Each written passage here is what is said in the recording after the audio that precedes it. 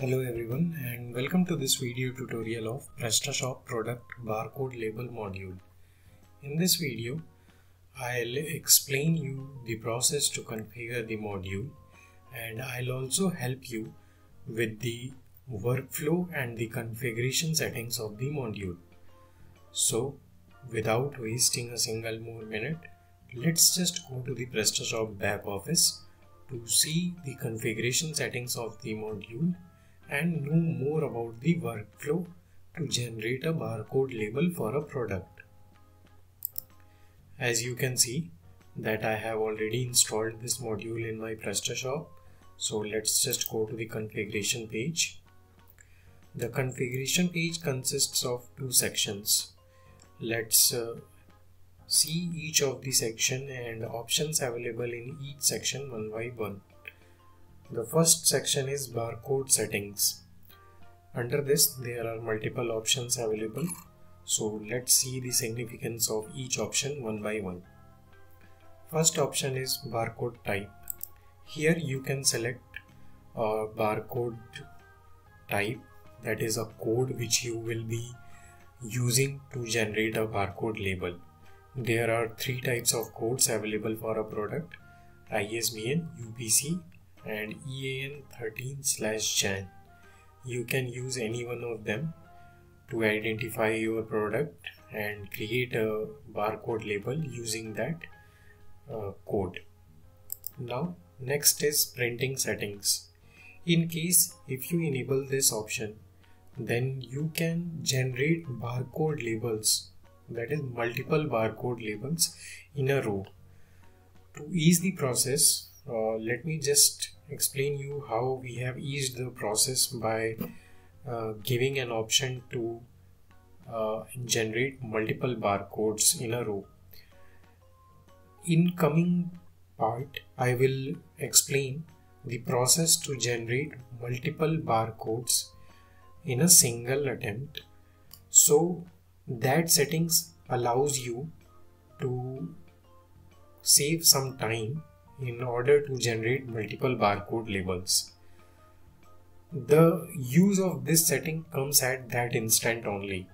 In case if this option is disabled, then those multiple barcode labels are generated in a column but in case if you enable this option then those multiple barcode labels which you have selected to generate will be uh, printed in a row then next is barcode size you can choose to customize the dimension of a barcode label from here you can set a height and width of that barcode label then next is details above barcode and detail below barcode.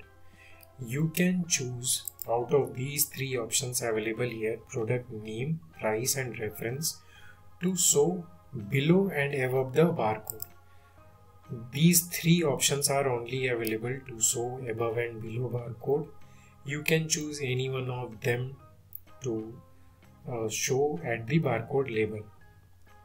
The preview of the barcode label that how your barcode label will show that is if you select the options from here will would be shown here on the configuration page only. Now save the settings and let's just proceed further next section is csv to barcode generation. This option particularly helps in case when you are planning to generate barcode labels for thousands of products. Then you can easily upload a csv file and choose to print all those barcodes in one go only. To know more about the format of a csv file you can simply just click here to get a sample csv file or download it. And along with that we have also provided here a common uh, process or the process which you will be following to generate a CSV file. That is in first column you must create or add a product ID and the second column of CSV must have the number of labels you want to print for that product apart from that in case if you don't find it much useful or helpful or it becomes hard to understand then you can also click here to get a sample CSV file so that you can easily create your own CSV file for generating multiple barcodes at a single time. Now let's just go to the catalog section to see how barcode labels are generated. There are two three ways to generate a barcode label. Let's just see how a barcode lab label is generated for a single product. In order to generate a barcode label for a single product, you can simply click on these three dots. Here a new option that is print barcode, print barcode is added by this module. Earlier it has only these three options but with the integration of module we have added this option here. You can simply click here. After that you will be prompted a confirmation click on print barcode now and by taking some time a barcode will be printed you can choose to print it via a printer which you have connected with your computer or you can also choose to generate a PDF of that barcode label. I'll just zoom out this particular barcode label to give you an overview that how this barcode label is generated. As you can see the selected code that is UPC code of a product is printed here. Here is the product name and below the barcode label the product price is shown as per the setting. You can customize that as per your own convenience from the configuration settings. Apart from that you can also choose to generate multiple barcodes in a single time for a products. You can simply select all those products which you for which you want to generate a barcode label. After that go to bulk actions here this new option is again added by the module. Click here. After that it will take some time to generate the barcode label for each of these selected products. And uh, on the generation of that you can simply uh, print or save that as a PDF as it was happening earlier. Now one thing to note is that you can see that these barcode labels are printed here in a row. This is because as I have already told you because of the printing setting we have enabled the printing setting from the configuration settings. That's why these barcode labels are uh, printed in a row. In case if that printing setting was off then these barcode labels would be printed here in a column that is one below the other now let's just select a product to know how we can print a barcode label for a combination or where is the option to add codes for the generation of barcode. But first let's just see that how we can add a code that those identifier codes identifier codes are available here under option section here you can choose to add ISBN, EAN13 or JAN barcode or a UPC barcode.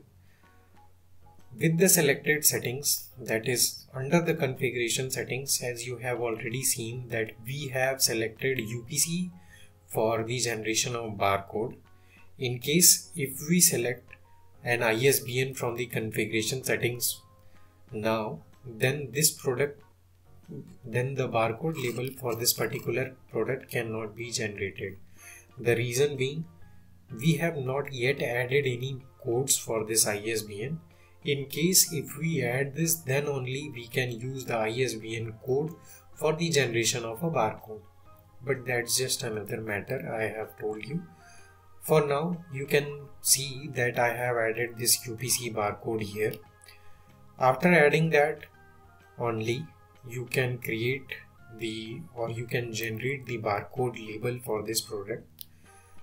Now let's just go to the combination section to know how the barcode labels for a combinations are generated. A button to generate a barcode label is available against each of the listing of the combinations as you can see here you can simply click on this to generate a barcode label for this particular combination. On clicking this option the that same page opens again and you can always choose to save that as a PDF or print it via the connected printer which you have through your computer. Apart from that, for the generation of barcodes, you must uh, specify the codes that is UPC code or EAN code or the ISBN code. Now, the code which is added here is for this whole product, not for the combinations. For the combinations, you need to go here. On clicking this, you can see that here is the section of specific references and here you can choose to add a ISBN code, EAN code and UPC barcode again but for this particular combination only. After adding that only you can create a barcode label. Here I have added a barcode uh, sorry a code that is UPC code for these two combinations only. So I can always choose to generate the barcode for these two combinations at one time. You can simply select those combinations and click here at this print barcode combinations and the same process will follow again. And that might take some time to print the barcodes. And uh, in the meantime this the process happens again and the same page opens again with the barcodes where you can choose to print or save the barcodes as per your own convenience. Now as you can see that these two barcodes are generated here again for the combinations but you might notice that the name of the combination is never available here however the codes will suffice or the work as work as to identify the combinations now you must be wondering what happens when we proceed to print a barcode for the combination that has not that doesn't contain any codes any identifier codes ISBN or EAN etc whatever is available here under the settings. As you can see here under the combination size L no codes are available here for that, an error message will display whenever we try to print a barcode. As you have seen here that this error message was shown here and you cannot generate a barcode label until and unless you add a identifier code and the code should be from the configuration settings only. Uh, what I mean to say that the code which you have selected from the configuration setting generate a barcode label that code should only be added here. Then only you can generate. Let's just say that you have uh, selected UPC code for the generation of a barcode and here under the product section or the combination section you add a EAN or slash JAN 13 code.